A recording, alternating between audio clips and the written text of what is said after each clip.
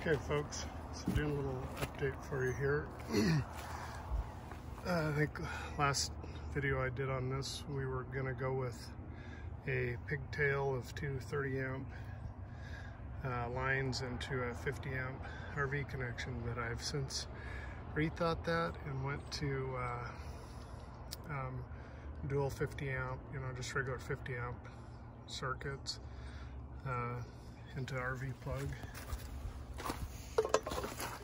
See, I got her plugged in here and she's working rather than try and fight fight these 230 amp circuits. I still would have had, you know, troubles not having enough current for my loads. Um, so this is just a better route rather than, you know, go with the pigtail. So this is what she looks like. This is the new uh, 50 amp breaker there and the wiring. And uh, you know, electricians don't don't uh, give me a hard time here, but um, obviously the earth ground is connected to the bus bar, but this isn't my panel. I didn't I didn't make it, so it is what it is what it is. So this is conduit